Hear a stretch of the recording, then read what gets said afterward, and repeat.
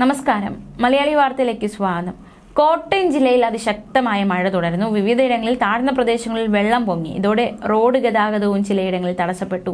പുതുപ്പള്ളിയിലും വാഗത്താനത്തുമായി രണ്ട് ദുരിതാശ്വാസ ക്യാമ്പുകളും തുറന്നു. കനത്ത മഴയിൽ പതിമൂന്ന് വീടുകൾ ഭാഗികമായി തകർന്നു.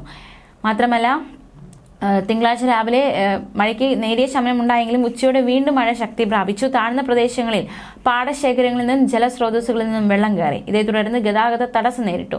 മീനച്ചിലാർ മണിമലയാർ എന്നിവിടങ്ങളിൽ ജലനിരപ്പ് ഉയർന്നുവെങ്കിലും അപകടകരമായ നിലയിൽ ഉയർന്നിട്ടില്ല. മഴക്കെടുതിയിൽ ചില വീടുകളൊക്കെ തകരുന്ന സാഹചര്യമുണ്ടായി. വാഗത്താനം പുതുപ്പള്ളി പഞ്ചായത്തുകളിലെ താഴ്ന്ന റോഡിൽ വെള്ളം കയറി പുതുപ്പള്ളി പള്ളി റോഡിലും വെള്ളം കയറി. തൃക്കോതമംഗലം പുതുപ്പള്ളി കൊട്ടാരത്തിൻകടവിൽ റോഡിലും തൃക്കോതമംഗലം റോഡിലും വെള്ളം കയറി. കോട്ടയം ഏറ്റുമാനൂർ ഭാഗങ്ങളിലും വെള്ളക്കെട്ട് രൂപപ്പെട്ടു. നിലവിൽ കോട്ടയം ജില്ലയിൽ അലർട്ടും പ്രഖ്യാപിച്ചിട്ടുണ്ട്. Puthuppally government Ayurveda dispensary Thrikkothamangalam L P school എന്നിവിടങ്ങളാണ് നിലവിൽ ദുരിതാശ്വാസ ക്യാമ്പുകൾ പ്രവർത്തിക്കുന്നത്. ഇരുപത്തിയൊന്ന് കുടുംബങ്ങളായി അറുപത്തെട്ട് പേരാണ് നിലവിൽ ക്യാമ്പുകളിൽ കഴിയുന്നത്. വാഗത്താനം പഞ്ചായത്തിൽ തുടങ്ങിയ വെള്ളപ്പൊക്ക ദുരിതാശ്വാസ ക്യാമ്പ് ജില്ലാ കളക്ടർ ജോൺ വി സാമുവൽ സന്ദർശിച്ചു. വാഗത്താനം സാമൂഹ്യ ആരോഗ്യ കേന്ദ്രത്തിലെ ഹൌസ് സർജൻ ഡോക്ടർ ഐറിന്റെ നേതൃത്വത്തിൽ മെഡിക്കൽ ക്യാമ്പും ഇവിടെ നടത്തി. താഴ്ന്ന പ്രദേശങ്ങളിൽ വെള്ളം കയറുന്നത് കണക്കിലെടുത്ത് ജാഗ്രത പാലിക്കണമെന്ന് അധികൃതർ നിർദ്ദേശങ്ങൾ നൽകിയിട്ടുമുണ്ട്. എന്തായാലും ഈ കോട്ടയം ജില്ലയിലെ മഴയുമായി ബന്ധപ്പെട്ടുള്ള ചില ദൃശ്യങ്ങൾ കാണാം. ആദ്യം ഒരു മൂന്ന് മണിയോടുകൂടി പഞ്ചായത്ത് ഞങ്ങളുടെ വാർഡ് മെമ്പറാണ് എന്നെ വിളിക്കുന്നത്. പുള്ളിക്ക് സുഖമില്ലായിരിക്കുകയായിരുന്നു. പുള്ളിയുള്ള ആദ്യമേ പുള്ളി ആ സാറിന് പോയ വർഷങ്ങളിലൊക്കെ ഇറങ്ങുന്നത് ഞങ്ങളെയും കൂട്ടി. ഒന്ന് തന്നെ ഞാൻ നമ്മുടെ കൂട്ടുകാരുണ്ട് ഇവിടെ.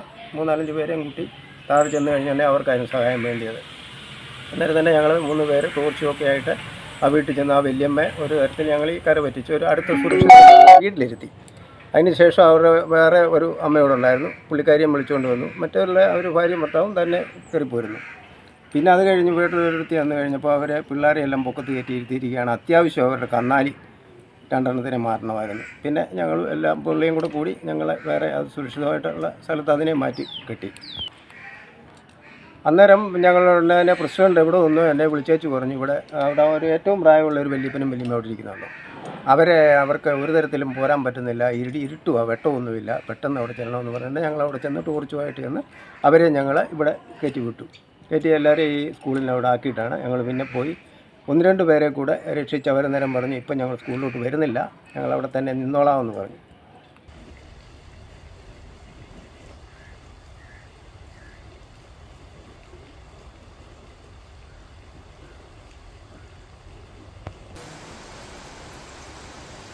What? What? What? What? What?